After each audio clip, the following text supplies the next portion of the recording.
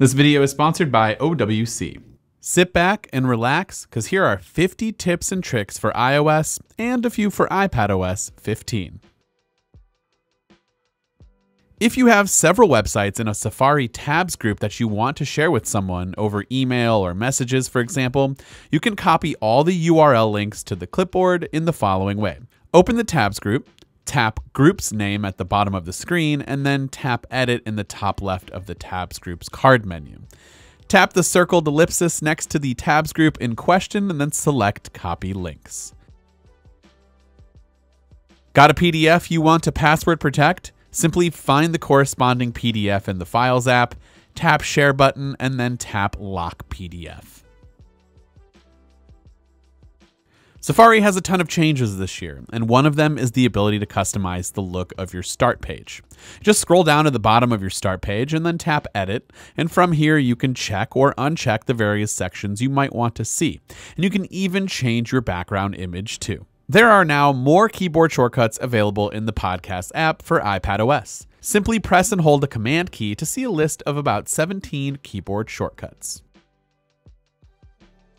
Want to delete or rearrange some different home screen pages? Just long press on an empty part of the screen to enter jiggle mode and then tap the dots here at the bottom. And from here, you can select or deselect pages as well as drag and drop them to rearrange them. If you want to adjust the text size on your iPhone on a per app basis, just head into Settings, Control Center, and then add text size toggle to your Control Center. Then, whenever you're inside of a specific app that you want to change the text size for, swipe down from the top right to enter Control Center, and then tap on the text size icon, which is a lowercase and uppercase a, and then select either all apps or the specific app that you have open. If an app appears in Spotlight via Siri suggestions, you can now drag and drop that icon to your home screen by just long pressing and dragging it to your desired home screen location. Apple brought back its text selection magnifying glass in iOS 15. Just press and hold your finger on any text input area to bring up the magnifier and relocate the cursor within the text. There are new split view and slide over menus for controlling each multitasking view. At the top of the apps that support split view is a small ellipsis icon, which reveal your full screen view, split view, and slide over options. Tapping split or slide over will move your current app out of the way to reveal your home screen so that you can select your secondary app. In iPadOS 15, supported apps now display a new shelf view at the bottom of the screen upon launch. The shelf displays all open windows for the current app, including any multitasking instances of it, allowing you to switch easily between them. The shelf minimizes when you interact with an open window, but you can resurface it by long pressing the app's icon and selecting Show All Windows. iOS 15 gives users the ability to drag and drop images, text, files, and more across apps on your iPhone.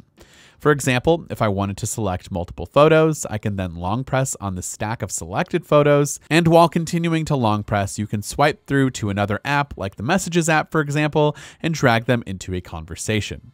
This could also work the other way around, like searching for images in Google and then selecting a bunch of those images and dragging and dropping them into your Photos library to save them iOS 15 finally allows users to have a full calendar displayed in a new 2x2 small calendar widget. Long press on a space on your home screen and then tap the plus icon in the top left corner to add a widget. Then go to calendar and you'll see a new small full calendar widget alongside the older event 2x2 widget. If you're in a focus mode and those badge app notifications are really distracting, you can actually turn that off by going into settings, focus, and then select either do not disturb or the specific focus mode that you've created. Head into home screen and then hide notification badges. Quick notes are a cool new feature in iPadOS 15, and to start a quick note, simply use your finger or Apple Pencil and swipe diagonally from the bottom right corner of the screen.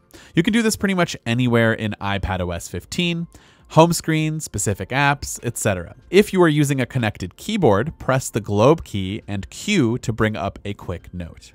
iOS 15 lets users generate two factor authentication codes, removing the need for third party applications. You can set up verification codes for web accounts under Settings and then Passwords. And then once set up, verification codes will autofill when you sign into a website, making two factor authentication on an iPhone or iPad much more streamlined.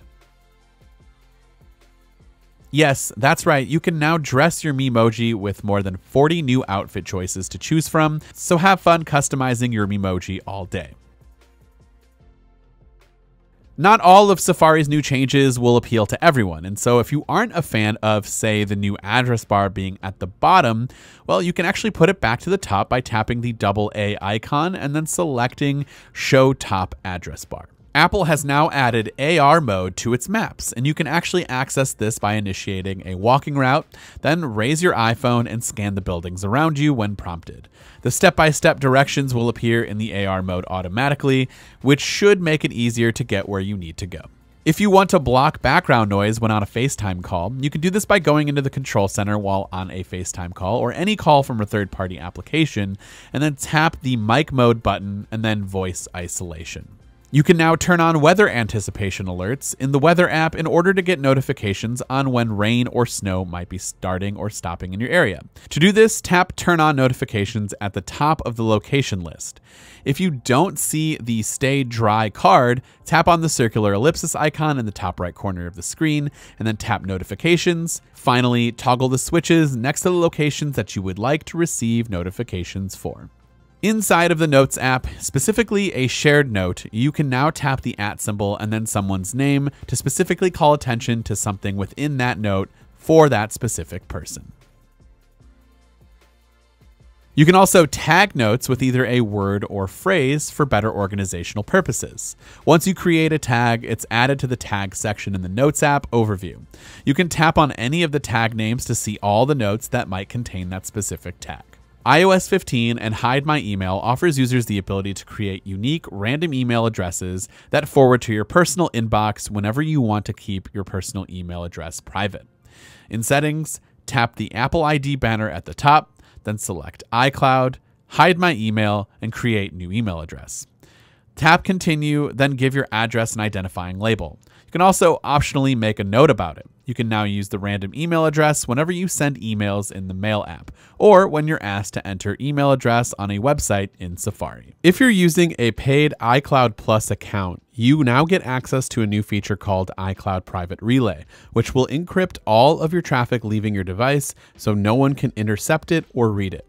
To enable it in settings, tap the Apple ID banner at the top, then select iCloud, Private Relay, and toggle on the switch next to iCloud Private Relay. You can now share health data with family members or caregivers so they can keep track of meaningful changes in your health.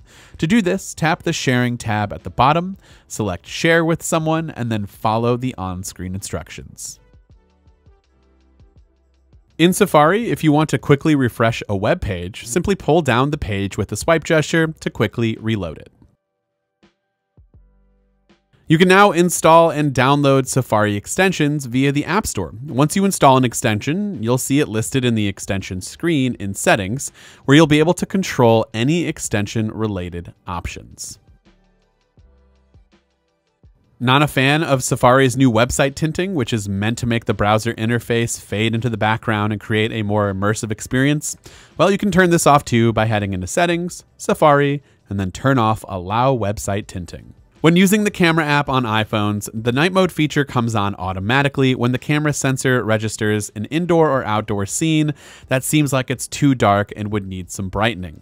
If you want to turn off auto night mode, you can do so by heading into the settings app, select camera, and then preserve settings, and then toggle night mode switch on. Siri has been able to announce messages for quite a while now, but in iOS 15, you can now get Siri to announce all notifications. In the Settings app, tap Notifications, and under Siri, select Announce Notifications, and then toggle on the switch next to Announce Notifications. In iOS 15, one result of Siri's increased contextual awareness is its ability to help you share whatever's on your iPhone screen with someone else via a message, be it a website in Safari, a song in Apple Music, a photo, or just the local weather forecast. To share something at any time, invoke Siri and then say, share this with whatever person you decide to share it with. In iOS 15, you can enable anyone, even if they don't have an Apple device, to join a FaceTime call with you by creating a link to a FaceTime conversation that can be shared anywhere. In the FaceTime app, simply tap Create Link, give the link a name if you'd like, and then share it from the Actions menu. Apple has added a new feature called Live Text that can recognize text when it appears in your camera's viewfinder or in a photo that you've taken and let you perform several actions on it. Point your phone camera at something containing text, such as a restaurant menu or a sign, and then tap the live text icon in the corner of the viewfinder. Drag the ends of the selection tool to highlight all of the text that you'd want to copy, and you can paste it wherever you'd like iOS 15 adds background sounds to help you stay focused, calm, and even minimize distractions. You can turn these sounds on by going into the Settings app, Accessibility, Audio Visual, and then Background Sounds. You can now adjust the playback speed of the default video player in iOS. Just tap the ellipsis icon in the bottom right corner of the screen and select your preferred speed from 0.5x to 2x. You can translate text anywhere, including images, inside of iOS 15 by simply highlighting the text using the selection tool, then tapping on that text to bring up a menu with a translate option. If you swipe downward on the lock screen of your iPhone, you can get Spotlight Search interface without having to actually unlock your iPhone.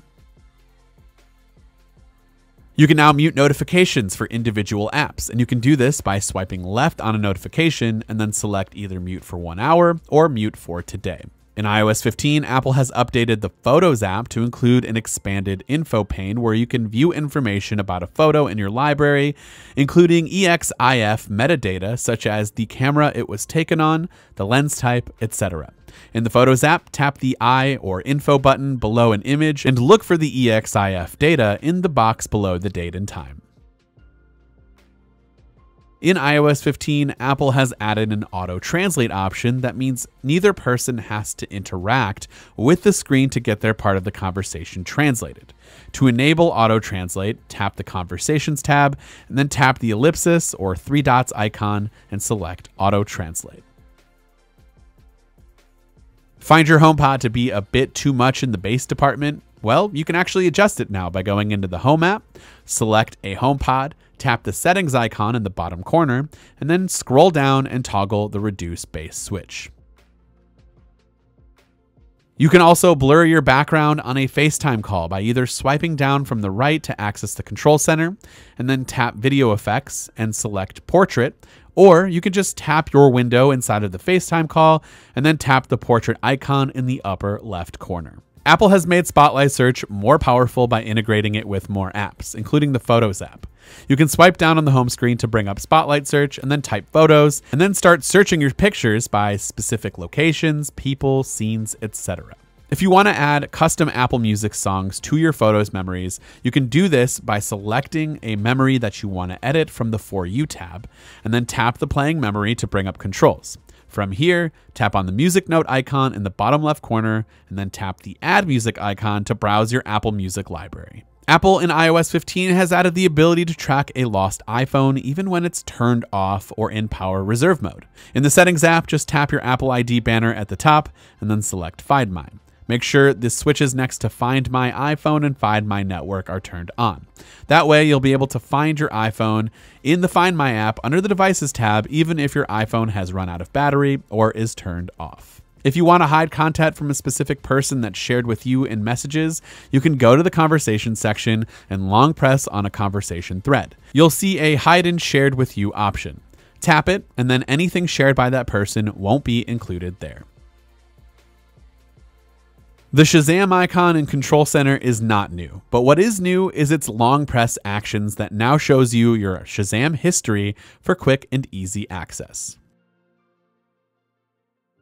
Speaking of nothing new, Quick Take has been around for a bit and allows for users to quickly take a video by pressing and holding the shutter button. You can now zoom in by simply swiping upwards, but keep your finger pressed down on the shutter button iOS 15 brings us spatialized stereo, which is a bit different than spatial audio, which uses Dolby Atmos. Instead, Spatialized Stereo brings you a simulated effect of having sound coming at you from different directions and works with basically any content as long as you're using AirPods Pro or AirPods Max. To turn this on, simply long press the volume slider in Control Center and then tap Spatialized Stereo. Last but certainly not least, you can now skip silence in voice memos as well as adjust playback speed by opening up the voice memos app, tapping on a voice memo, and tapping the controls icon on the left hand side. And here you'll find both options under playback speed.